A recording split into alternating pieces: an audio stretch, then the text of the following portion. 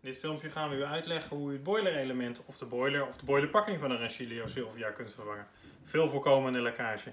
Nou zijn er een aantal typen Rancilio ehm, Silvia van de V1 tot en met de V5 ondertussen. Ehm, en er zitten ook een aantal verschillende boilers in. Ik heb hier de V1 liggen en die is te herkennen aan ja, het element wat erin vast zit. Als hier het boiler element van stuk is, als die kortsluiting maakt, is er maar één optie, dat is de boiler geheel vervangen. Ehm, ik zal ook even laten zien hoe u nou kunt meten of de element kapot is. Het element kan op twee manieren kapot zijn. Hij kan gebroken zijn of hij kan uh, kortsluiting maken. Voor beide pak ik een multimeter en ga ik hem de weerstand meten. Nou, als het element kapot is of gebroken en ik hou hem op de twee polen, dan moet de weerstand ja, oneindig groot zijn. 1. Nou, hier hou ik ze op de beide polen en de weerstand is 0. Dus het element is goed. Vervolgens hou ik hem op één pol en dan ga ik de andere tegen de behuizing. En ik zie nog steeds dat die 1 is oneindig. Dat betekent dat hij geen aardelijkschuikeling maakt.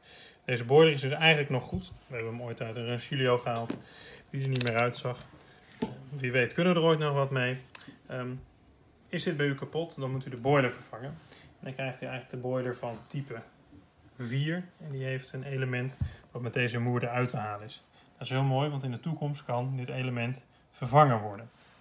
Eén ehm, ding nog waar u moet letten, wat u bij moet bestellen als u een um, type 1 heeft van Chilio, is dit leidingje. Want de aansluiting voor de stoompijp zit bij de nieuwere boilers bovenop en bij het eerste type aan de zijkant. Um, tweede type, daar is een verwarmingselement in dat los kan. Adviseren we om niet te vervangen, maar ook om deze boiler te monteren. Uh, want hij blijft eigenlijk altijd lekker boven bij, de verwarmingselement, bij het verwarmingselement. Nou, leggen we dit even opzij. Ik ben hier bezig met een uh, V3, um, waarvan we er straks gezien hebben dat, het element, of dat de boiler onderlekt. Dus tussen deze twee helften. Nou is altijd één ding um, gevaarlijk bij het loshalen van de boiler van de Rancilio die stalen boutjes die ze vanuit de fabriek gebruiken. Die willen nog wel eens breken. Als die breken is het eigenlijk uh, in de meeste gevallen einde oefening, want het is niet uit te boren. Um, we gaan ze eerst loshalen voordat ik iets anders loshaal, want dan weet ik meteen of het een zinvolle operatie is. En daarvoor pak ik een, ja, een T-inbussleutel en een houten hamer, want dan kan ik een mooie ram erop geven. Want dan sla ik eventjes hem los. Nou, uh, die zat ongeveer helemaal los. Nou, dit is echt zeldzaam. Meestal staan we hier best wel lang op de hamer. En deze zit dus allemaal vrij los.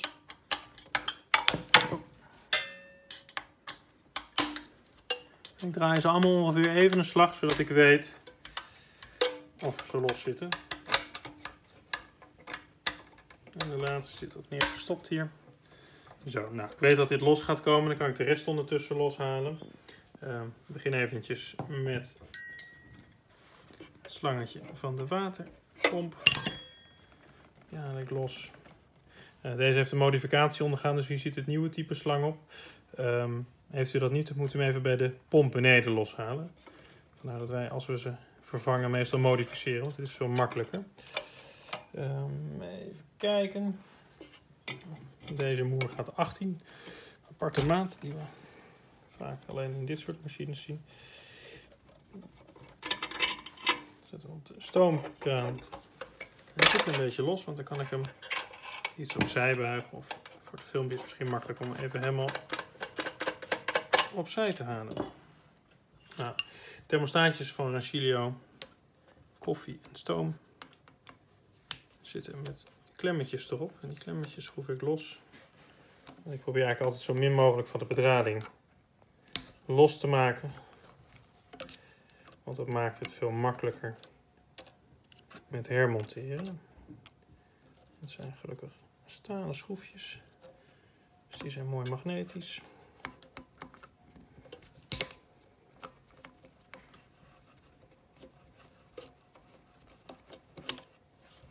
Kijk, die zijn los.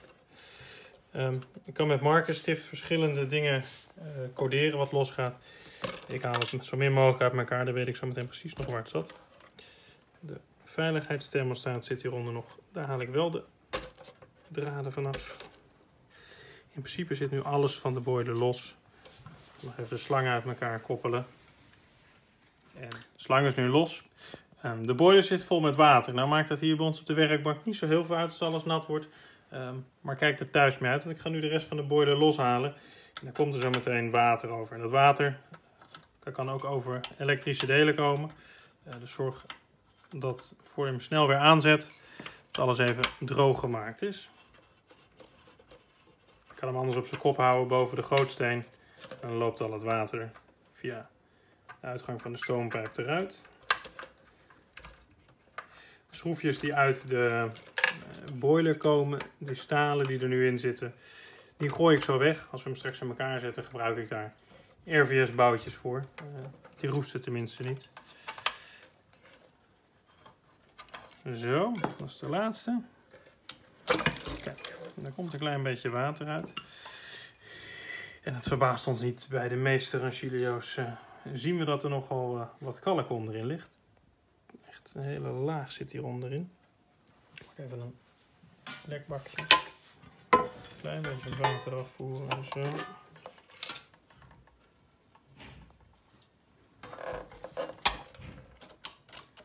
Kijk, is het helemaal vol gewoon.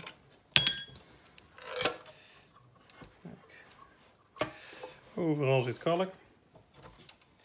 Nou, dat moet dus even schoongemaakt worden. Meestal halen we de grove resten eventjes weg. Um, dat kan uh, met, met, een lepeltje of met een doekje of even met een stofzuiger. Dat gaan we zo meteen doen. Um, en we zien hier de oude boilerpakking. Die ga ik er even uithalen. Voor pak ik een klein priemetje. Zo. Die is eruit. Nou, even kijken of we een beetje van kalk er makkelijk uit krijgen.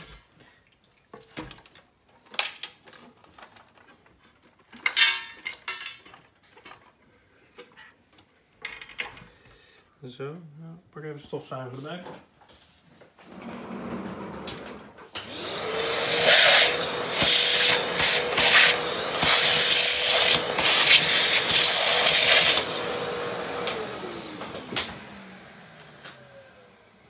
Hij ook handig een messing borsteltje. Eventjes wat resten wegkrabben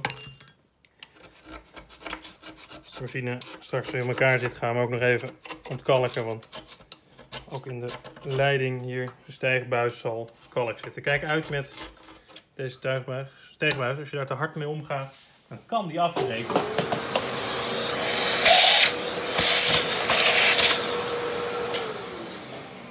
Zo. Nou, we hadden hier gemeten, het element is nog goed van deze. Uh, maar hij is van binnen weer redelijk schoon. Dat is ook weer mooi maak eventjes met het messingborsteltje de rand schoon. Ik, zie, ik haal nog even de resten van de oude pakking eraf.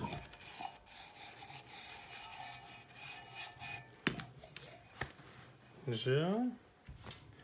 Vervolgens leggen we de nieuwe boilerpakking netjes in de rand en zorg dat die goed ligt.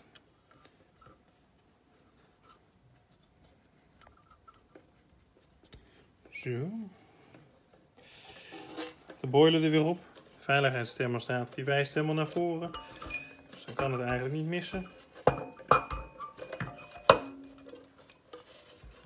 Zo. Vervolgens pak ik nieuwe boutjes RVS.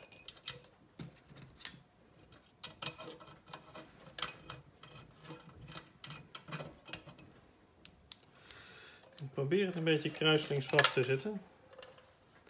Valt niet altijd mee om met de schroefjes bij de gaatjes voorin te komen. Ik kan een eh, punttangetje bij helpen, want dan kan ik hem er even voorzichtig in zetten.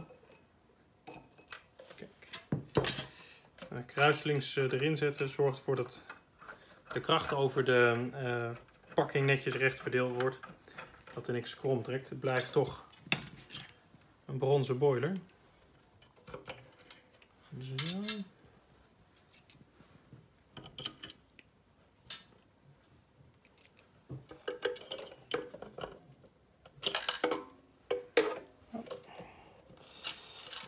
schakelaar zit is de lastigste.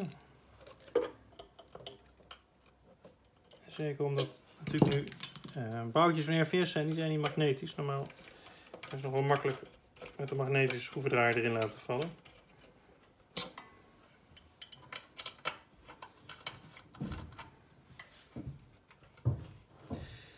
Bij eentje moeten we even opletten, daar zit ook de... Eh, oh, die zit ertussen. tussen. Daar zit ook de aarde aan. Dat gebeurt mij wel vaker, dat hij net ertussen komt te zitten als ik hem vastzet. De aarde is natuurlijk belangrijk. Dat als een element ooit kapot gaat.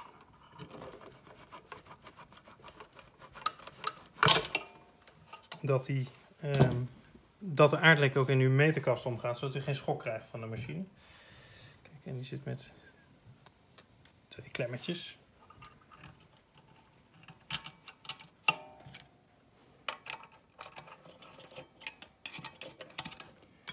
Ze even bijna vast. Dan zet ik de draadjes er weer op.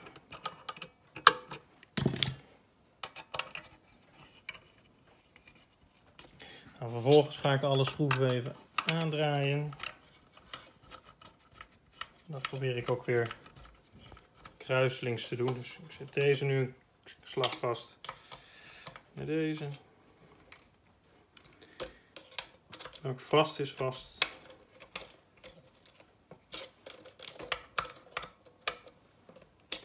En als laatste deze. Zo. Nou, kijk, ik heb het allemaal zo een beetje bij elkaar laten liggen dat heel makkelijk te zien is waar de draden bij komen. Eerst de draden op de veiligheidsthermostaat vast. Vervolgens zet ik de gele draad vast. De zwarte draad laat ik nog even los. Straks als ik de boiler helemaal gevuld heb met water, zet ik die pas weer vast. Want het zou je toch gebeuren dat je je nieuwe boiler element al droog laat koken. Want er zit natuurlijk nu geen druppel water in de boiler. En dat is natuurlijk doodzonde. Zo, de klemmetjes voor de thermostaten met de kleine schroefjes. Zo. Vaak als we een grote revisie doen van zo'n machine vervangen we meteen de koffiethermostaat. Zo'n 100 graden thermostaat die heeft het meeste te lijden van de thermostaatjes. De stoomthermostaat doet niet zo heel veel. Maar als de machine aanstaat dan is de koffiethermostaat eigenlijk constant aan het schakelen. Kijk, en het laatste schroefje. Ziet, ik gebruik een magnetische schroevendraaier. Blijven deze kleine schroefjes heel mooi in hangen.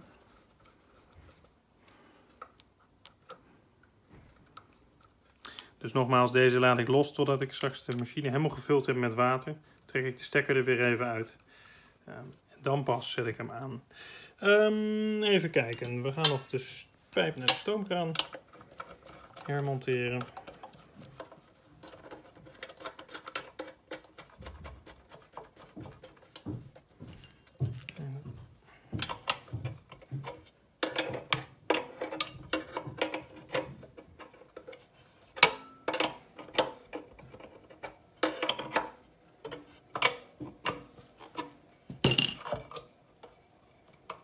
En de slang naar de pomp. Van de pomp. En zoals ik al eerder zei in het filmpje, dit is een gemodificeerde. Hier hebben we een andere slang opgezet met een andere koppeling. Uh, anders moet u dat bij de pomp doen.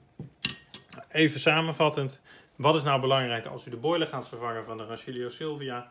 Ten eerste die stalen boutjes, daar moet u op letten. Als die breken, zitten ze afgebroken in de onderste boilerhelft, is eigenlijk de machine klaar.